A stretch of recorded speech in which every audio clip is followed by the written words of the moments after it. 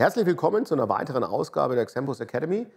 Heute werden wir uns mal einem sehr wichtigen Thema widmen, nämlich der Vorbereitung auf die Arbeitnehmergespräche, auf die Arbeitnehmerberatung, wie auch immer sie dann stattfindet.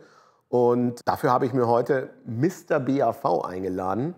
Martin, schön, dass du da bist. Äh, ein ja, sehr erfahrener BAV-Experte und eben Mr. BAV. Ähm, und mit dir hätte ich mich gerne mal über dieses Thema Vorbereitung auf Arbeitnehmergespräche unterhalten. Mhm. Ähm, weil ich glaube, da kann man schon sehr, sehr viel sehen, um dann nachher auch ernten zu können in dem Zusammenhang.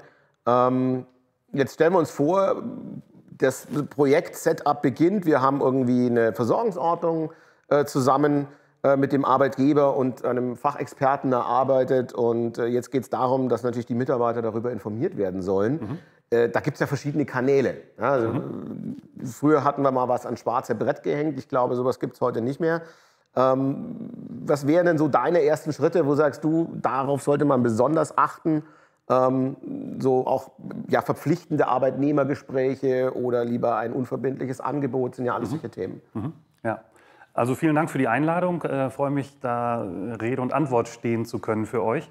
Und aus meiner Sicht ist ganz wichtig, dass der Arbeitgeber sich erstmal ganz klar auch committet, wie wichtig ihm das Thema BAV ist, dass er also auch alle möglichen Kanäle öffnet und ähm, dann ist erstmal das Feld sozusagen ähm, geebnet, auf dem man dann die entsprechenden Dinge säen kann.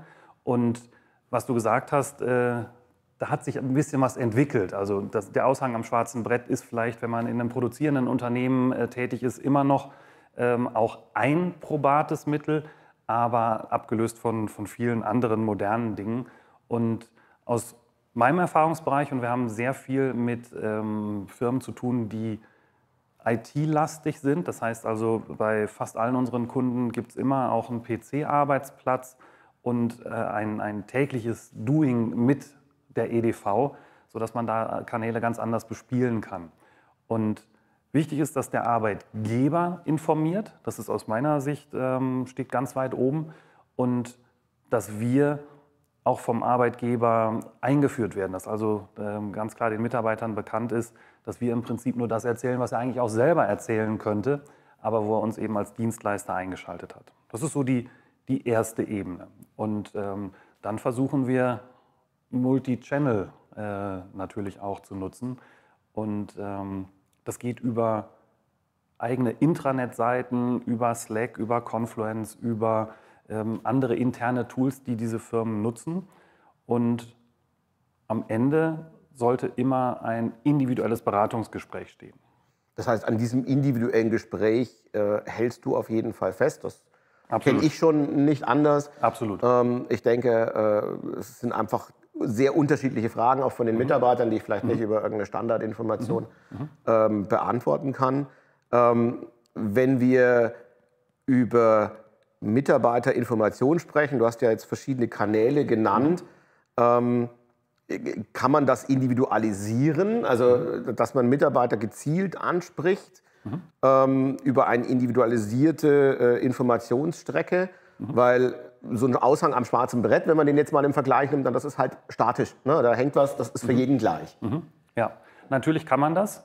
Und äh, dafür bietet sich tatsächlich auch euer Tool an. Arbeitnehmer-Infoportal nennt sich das. Das wird im Firmendesign auch ausgeliefert. Das heißt also, da ist das Logo von der Firma drin, das sind die äh, Corporate Identity Farben, die das Unternehmen hat. Das heißt also, es ist auf den ersten Blick ersichtlich, dass es vom Unternehmen kommt. Das ist ja dann wieder die Botschaft, ne? das Unternehmen informiert eigentlich Absolut. und nicht ja. Äh, ja. Der, der Vermittler an der Stelle. Ist ganz, aus meiner Sicht wirklich ganz wichtig, dass das ähm, deutlich wird, dass den Mitarbeitern ein Angebot vom Arbeitgeber gemacht wird und wir nur die Berater sind, die dann als ähm, ja, Erfüllungsgehilfe äh, auch im weitesten Sinne diese äh, Gespräche führen.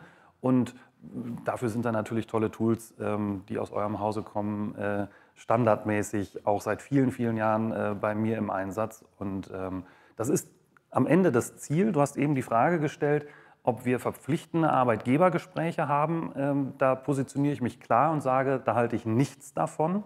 Ich finde, dass BAV eine Magnetwirkung entfalten sollte und nicht über Druck entsprechend an die Belegschaft ausgeliefert wird. Und wenn du dich für etwas entscheiden musst, was du nicht willst.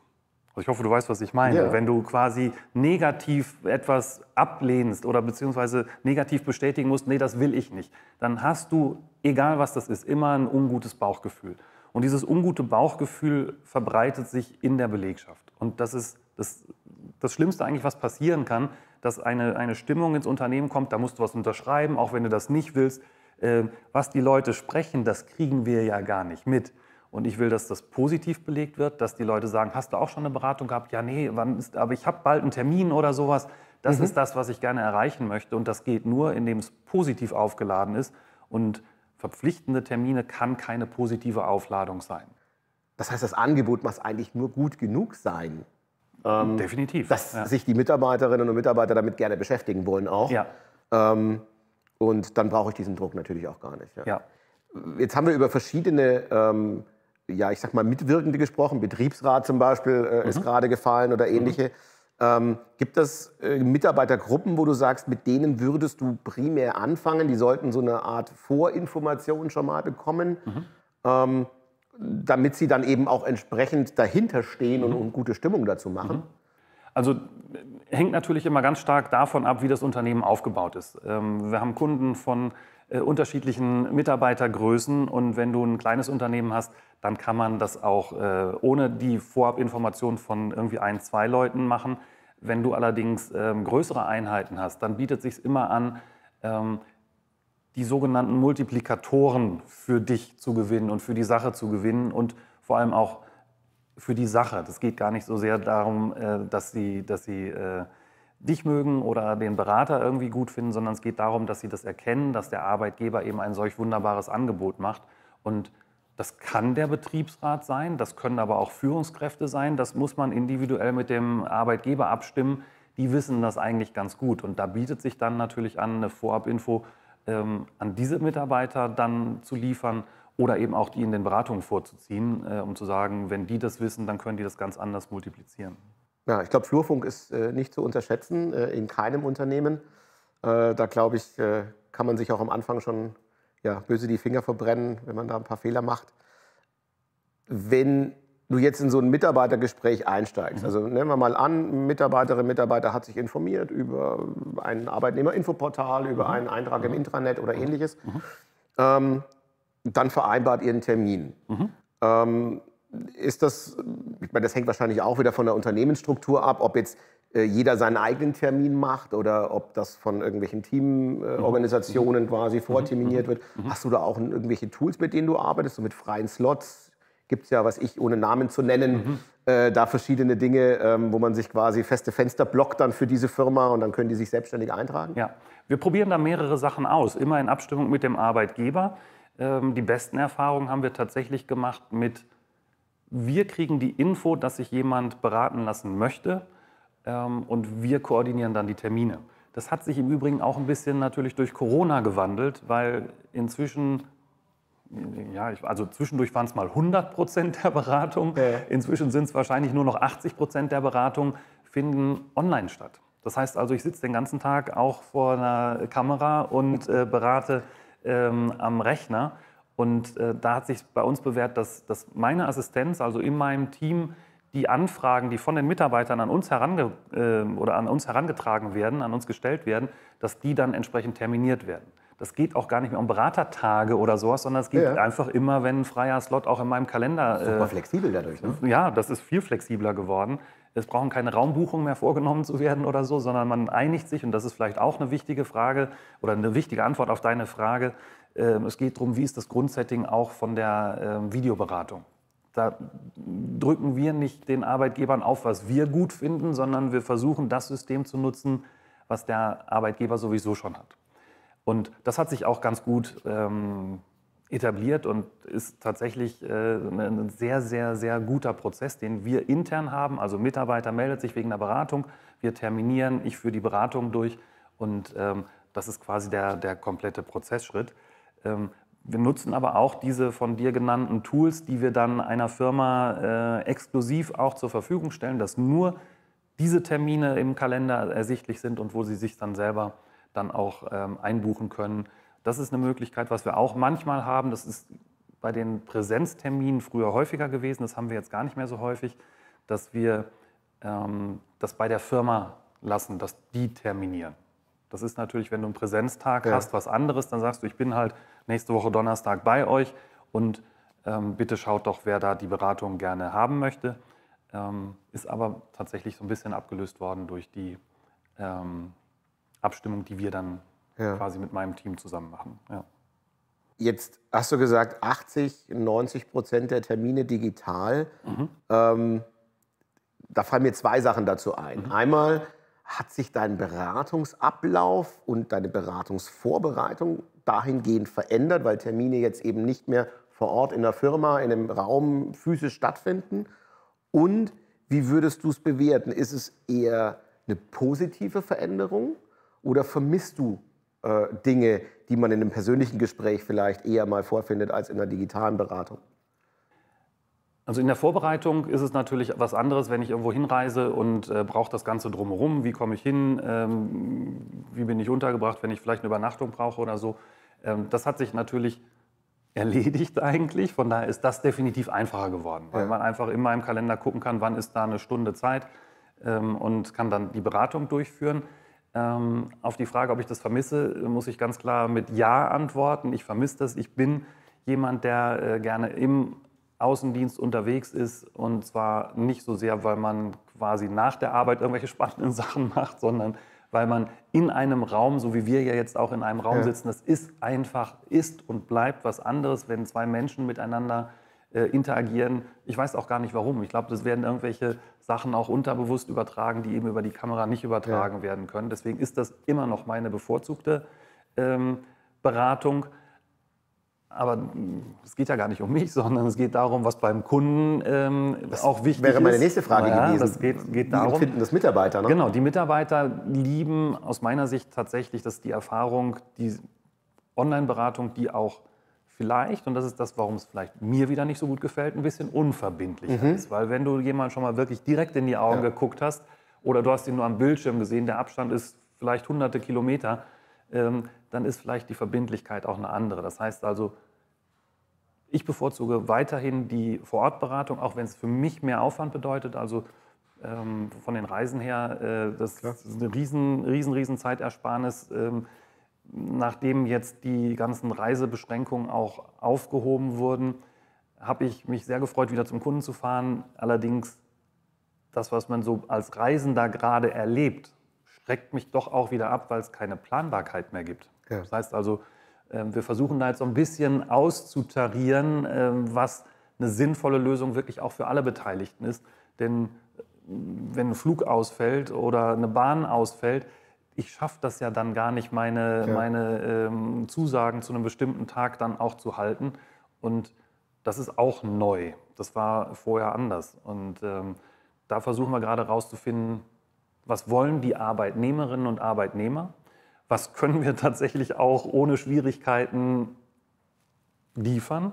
Ja. Und ähm, ja, wir werden, wir werden sehen, wo das, wo das hinführt. Ich freue mich auf jeden Fall jedes Mal, auch wenn ich, wenn ich raus darf und wenn der Kunde auch sagt, dass er mich, dass er mich sehen möchte. Ähm, am Ende ist die Abschlussquote tatsächlich auch ein bisschen höher. Ja, die Verbindlichkeit, wie du gerade ja. schon gesagt hast, ist natürlich nochmal eine andere ja. im persönlichen Gespräch. Ja, äh, dagegenüber steht halt einfach die Flexibilität und die Effizienz, äh, wenn man nicht reisen muss. Ich glaube, da muss auch jeder selber äh, sein, sein perfektes Setup finden, was sowohl zum Vermittler als natürlich dann auch zum Arbeitgeber und zum Arbeitnehmer passt. Ähm, früher bei persönlichen Gesprächen kannte ich es immer vor Ort beim Arbeitgeber. Dort wurde ein Raum gebucht, dann kamen mhm. die Mitarbeiter entsprechend rein, 10, 15 Gespräche am Tag. Danach mhm. wusste man, was man getan hat. Mhm. Ähm, und dann fand das natürlich während der Arbeitszeit statt, ja. in den üblichen ja. äh, Fällen. Wie würdest du das jetzt einschätzen? Hast du eher mal einen Termin um 19, 20 Uhr, wenn der Mitarbeiter schon zu Hause ist und sagt, ach wunderbar, jetzt habe ich Zeit, jetzt kann ich mich zurücklehnen äh, und mich mit dem Thema beschäftigen? Oder ist es dann eher so, dass der Mitarbeiter vor seinem äh, Gerät, vor seinem PC im, im, am Arbeitsplatz sitzt? Ja. Ich würde das nicht ablehnen, auch Termine um 19 oder 20 Uhr zu machen. Es ist tatsächlich, wenn ich darüber nachdenke, ich glaube in den letzten fünf Jahren vielleicht dreimal vorgekommen oder so, dass jemand das so wollte. Ähm, das kläre ich aber auch in diesem Grundsetting, was wir ja eben schon mal besprochen haben, mit dem Arbeitgeber ab. wenn es denn sein Programm ist, und das ist für mich die Grundvoraussetzung, dass er nicht sagt, ja, wir müssen da irgendwas machen und dann mach du mal, ja. du Vermittler, du, äh, sondern das ist seine BAV und äh, das ist mein Anliegen, dass ich eben in seinem Sinne dann auch agiere. Und dann ist für mich selbstverständlich, äh, dass das während der Arbeitszeit passiert. In ganz wenigen Ausnahmefällen müssen dann die Mitarbeiter das sich irgendwie privat verrechnen, irgendwie ausstempeln oder sowas, wobei wir das mit dem Stempeln ja in den Unternehmen, die wir haben, ja. gar nicht mehr so kennt. Das ist ja Vertrauensarbeitszeit und so weiter. Aber das ist tatsächlich das, ähm, der Standard, dass die Leute das an ihrem Arbeitsplatz machen, ob der jetzt zu Hause im Homeoffice oder tatsächlich wieder in einem ja. Präsenzoffice ist. Äh, das äh, ist mir ja. dann am Ende auch nicht äh, wirklich wichtig, sondern wichtig ist, dass die Leute wissen, das ist ein Angebot des Arbeitgebers, dass die diesen Kontext sehen, das ähm, bringe ich auch im Gespräch. Und ja, dann, dann, stellt sich meistens die Frage nicht, ob das dann um 19 oder um 20 Uhr ist, weil dann haben die einfach auch Feierabend und ja. wollen den auch äh, genießen und das finde ich auch ja. gut und auch äh, völlig legitim. Ja, also ich frage das deswegen, weil natürlich viele äh, unserer Zuseher doch eher im, im Privatgeschäft äh, ja, zu Hause sind und da ist es durchaus mal üblich, wenn jemand bis um 18 Uhr arbeitet, dass man dann den Termin mit dem Versicherungsberater halt um 19 oder 20 Uhr macht. Ähm, und das ist vielleicht nicht jedermanns Sache.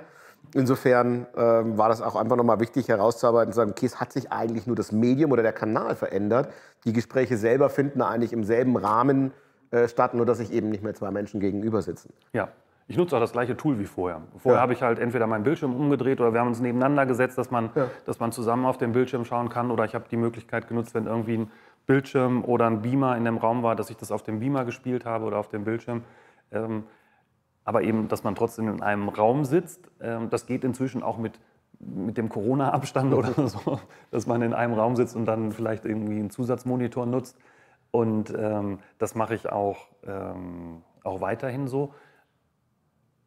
Im Unterschied zu den Privatberatern, das habe ich übrigens auch viele, viele Jahre gemacht, bevor ich mich vor fast 20 Jahren in die äh, BAV gestürzt habe. Das ist so lange her. Ja, das ist schon sehr lange her. Ähm, da habe ich auch drei Termine am Abend gehabt, übrigens nach einer normalen Arbeit. Ja. Und habe dann, ne, also auch nach meiner eigenen Arbeit, ich habe auch äh, zweitberuflich angefangen. Ähm, das ist aber auch ganz schön, dass das jetzt sich auch in den normalen Arbeitszeiten bei mir bewegt. Aber das, das muss halt wirklich jeder Berater für sich dann auch erkennen. Für mich ist wichtig, dass dieser Kontext, das kommt vom Arbeitgeber, dann auch herausgestellt wird. Und dann ja. stellt sich eigentlich die Frage nicht, weil es wirklich das ist auch betrieblich anders ist. Während, während der Arbeitszeit stattfindet. Ja, ja. Ähm, wenn, wir, wenn wir jetzt mal weg von, ich sag mal, eher äh, emotionalen Ebenen, sitze ich dem gegenüber, stimmt die Chemie und sowas, so zu so, so ein paar Vorbereitungsfakten komme, äh, da fällt mir halt immer so das Thema äh, Mitarbeiterdaten, Gehaltsabrechnung ab ein, was natürlich, glaube ich, auch sehr, sehr unterschiedlich äh, gehandhabt wird. Bekomme ich Daten vorher? Wenn ja, welche? Wie, brauche ich da irgendwelche komplexen Vereinbarungen mit dem Arbeitgeber? Mhm. Ähm, und was ich immer unheimlich wichtig fand, war, was hat der denn eventuell schon? Mhm. Also ich glaube, das lassen die meisten außer Acht, wenn es mhm. um das Thema BAV-Beratung mhm. geht. Und das sind jetzt nicht solche Profis, wie du sehr bist. Ähm, zu berücksichtigen, was gibt es denn eventuell schon? Mhm. Mhm. Und äh, da fällt mir immer so der Klassiker ein, den ich auch gerne äh, bei den Advisor-Schulungen von unserem Beratungstool zitiere und sage, naja, hat der Mitarbeiter so einen 40b-Vertrag, der immer im November mit dem Weihnachtsgeld bezahlt wird und ich berate ihn jetzt im August mit der Juli-Abrechnung, dann werde ich den da nicht finden. Ne? Mhm, mhm. Also was, was sind so denn deine Basics, wo du sagst, die frage ich immer ab oder das sind Dinge, die brauche ich vorweg auf jeden Fall an Informationen? Ja. Da kann ich nur von meiner Warte aussprechen. Ich weiß, dass es da andere äh, Vorgehensweisen gibt und Profi hin, Profi her. Ich habe vorab keine weiteren Informationen. Ich habe keinen, also außer einem Namen und einer ähm, einem Stammdatenblatt, was der Mitarbeiter aber selber uns gegeben hat. Mhm. Das ist unser Prozess. Hat, wir nennen das Auskunftsbogen. Da hat er seine ähm, persönlichen Daten angegeben. Da hat er übrigens auch angegeben, wenn er von einem anderen Unternehmen kommt und neu in das Unternehmen eingetreten ist, ob er schon eine bestehende BAV mhm. mitbringt, die vielleicht, also ihn interessiert, ja. wie kann ich die integrieren. Das sind Informationen, die habe ich vorweg. Ich habe aber keine Gehaltsdaten, ich habe keine weiteren Informationen, ob schon äh, eine uralt äh, 40b-Versorgung beim gleichen Arbeitgeber da ist. Das habe ich alles üblicherweise nicht. Wie gesagt, Ausnahmen bestätigen die Regel, je nachdem, was für ein Setting man auch bei dem Kunden übernimmt. Ähm, Und naja, ich habe inzwischen nicht nur mehrere hundert, sondern auch äh, vierstellige Beratungen durchgeführt. Ich meine, das Tool gibt es ja jetzt auch schon eine ganze Weile und ich war wahrscheinlich einer der ersten, der auch damit begonnen hat zu arbeiten. Ja. Und ich kann inzwischen so schnell die Daten von einer Gehaltsabrechnung erfassen und im Gespräch aufnehmen, um sie dann wiederum zur Kontrolle dem, dem Mitarbeiter oder der Mitarbeiterin zu zeigen, mhm. dass mich das nicht aufhält. Und das kann ich auch in das Beratungsgespräch integrieren und das ist ja auch der Bereich, wo du das erste Mal ja, sowas wie Vertrauen aufbaust, wo du deine Fachkenntnis auch ähm, schon so ein bisschen äh, zum Besten geben kannst durch gezielte Fragen und so weiter. Das mache ich tatsächlich alles ganz neu, ohne dass ich vorab Informationen habe. Die einzige Information, die ich vorab habe, ist, welches ähm, Gehaltsabrechnungs... Ähm, Abrechnungsblatt die quasi mhm. haben, also mit welchem Welchen Dienstleister Layout. die mhm. zusammenarbeiten, mhm. genau welches Layout letztendlich. Das wird in dem Grundsetting auch im Advisor ja hinterlegt. Das weiß ich vorher, da gibt es wenige, aber ab und zu mal auch so spezielle Ausnahmen, wo man dann genau gucken muss, wo steht denn die Steuerklasse, wo steht Kinderfreibetrag und äh, vielleicht auch die Krankenkasse. Ähm, aber da fuchst man sich auch dann einfach über die Zeit rein. Private Krankenversicherungen machen manchmal noch so ein bisschen äh, ein Problem. Da versuche ich dann aber auch durch ähm, ja, durch, durch ähm, die Erfahrung und auch durch Rechenschritte mich möglichst dem Ergebnis zu nähern. Am Ende steht aber immer, dass der Vergleich, guck mal, das ist die Abrechnung, die du gerade in der Hand hältst, lieber Mitarbeiter, und das ist die, die jetzt hier aus dem Advisor rauskommt, dann weiß der schon, okay, ähm, das, sieht, das sieht nicht nur gleich aus, sondern da sind auch die gleichen Zahlen und vor allem, ich übernehme ja nicht alle Zahlen, sondern ich übernehme ja nur die Zahlen, die relevant sind. Der Rest ist ja im Advisor programmiert hinterlegt. Ja. Und es ist ja nicht, dass ich, dass ich jede einzelne Zahl übernehme, wie viel Krankenversicherungsbeitrag, wie viel Rentenversicherungsbeitrag und Arbeitslosenversicherungsbeitrag da drin steckt. Das ist schon wirklich sehr, sehr, ähm, sehr, sehr angenehm. Und ja, dann kann ich weiter dann individuell die Dinge abfragen. Übrigens auch, ob schon eine bestehende BAV da ist. Das kommt ja dann auch in dem in den äh, Fragen zu dem jeweiligen Arbeitnehmer, zu den Stammdaten, kommt das ja mit dazu. Ja, aber das, das zeigt schon auch für mich so ein bisschen äh, deine Routine, wenn du sagst, du kannst das innerhalb äh, sehr, sehr kurzer Zeit auch mhm. abbilden. Ähm, da haben wir in der Tat äh, häufig auch Supportanfragen, ähm, woran kann es denn liegen, dass die Gehaltsabrechnung nicht stimmt. Ähm, das heißt für mich auch immer, äh, wenn man das so ad hoc macht, sollte man sich da vorher mit beschäftigen. Absolut. Ja. Ähm, und vielleicht auch mal den ein oder anderen Probedurchlaufen machen, äh, wenn man da noch nicht ganz so routiniert ist wie du. Ähm, aber man spart sich natürlich auch eine aufwendige Vorbereitung mit irgendwelchen Datenschutzerklärungen und ähnlichen Themen oder vielleicht sogar Pannen an der Stelle, dass irgendwie Mitarbeiter sagen, ja, wieso hat jetzt äh, äh der Mann da von der Versicherung meine ganzen Daten schon? Mhm. Alles schon passiert. Also insofern, ich kann dieses Verfahren völlig nachvollziehen. Ähm, und wenn man dann die Erfassung im Griff hat, so wie du, dann äh, kann man ja die zwei, drei Minuten dafür auch wunderbar nutzen, um den Mitarbeiter kennenzulernen. Ja, das ist aber natürlich auch der ähm, Erfahrung geschuldet. Ne? Ich äh, habe am Anfang auch mit dem Support, den du gerade erwähnt hast, habe ich auch ein bisschen ausprobiert, um, um so die, die kleinen, es gibt nur wenige, aber ab und zu äh, tauchen sie auf, äh, so ein paar kleine Klippen, wie man da ähm, drumherum fahren kann. Und äh, das kenne ich und das ist aber wahrscheinlich in jedem, nennen wir es Handwerk, so, dass du dein Werkzeug beherrschen musst. Und auch ja. mit einem Hammer kann man sich ordentlich auf den Finger hauen. Oder man hat halt so lange versucht, den Nagel ordentlich da reinzuhauen, dass man sich nicht mehr auf den Finger klopft. Und äh, so ähnlich ist es halt hier auch. Es tut nicht ganz so weh, wenn du ja, was falsch machst wie mit dem Hammer. Aber äh, das ist halt das, was, was, was wichtig ist, dass du ein Tool beherrschst. Und ähm, es ist trotzdem extrem bedienerfreundlich. Das muss man ja schon auch sagen. Ja, ja ähm, jetzt sind wir quasi schon mitten im Gespräch drin gewesen. Ähm, wie, wie wir die Daten erfassen. Ich denke, alles, was danach kommt, da haben wir auch noch mal ein schönes Video mit meiner Kollegin der Anna Schmidt gemacht, wie so eine Beratung ablaufen kann. Wie gesagt, das war jetzt letztendlich einfach mal ein Einblick, so wie du es machst, mhm. wie ich es persönlich auch äh, sehr gut finde. Ähm, jeder sollte, glaube ich, auch einfach seinen Weg finden, mit dem er sich wohlfühlt. Jeder Arbeitgeber, wie du schon gesagt hast, hat verschiedene äh, Herausforderungen und, und Besonderheiten, auf die man auch eingehen muss. Aber es sind eben die Feinheiten und die Vorgehensweise, mit welchen Menschen spricht man zuerst, äh, wie ist die Botschaft vor allem, ja, dass der Arbeitgeber eben eigentlich derjenige ist, der die Botschaft sendet und äh, ja, wir als Vermittler sind nur die Überbringer. Ähm, ja, bleibt mir nur zu sagen, Martin, vielen herzlichen Dank, äh, dass du uns da mal einen Einblick verschafft hast, äh, wie du so ein Gespräch vorbereitest, welche Kanäle es gibt und wie unterschiedlich auch Mitarbeiter und Mitarbeiterinnen sein können. Vielen Dank, dass du da warst. Danke dir, Und äh, Ihnen ja hoffentlich eine Inspiration für Ihre Vorbereitungen auf die nächsten BAV-Beratungen. Vielen Dank.